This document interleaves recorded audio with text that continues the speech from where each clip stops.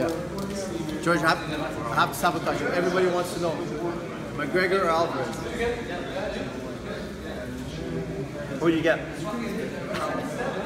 I think I think it could be a blowout either way, but I'm going with Alvarez. I think it's gonna go past round one and a half, two, and I think McGregor has a chance to knock him out early. But if he doesn't, it's gonna be Alvarez, and I think Alvarez is gonna get past the halfway line.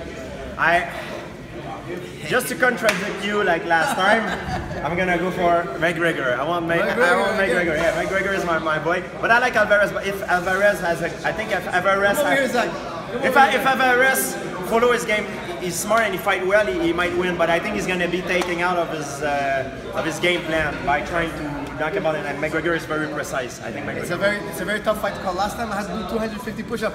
My chest is still aching. what, what do we have on the line this time?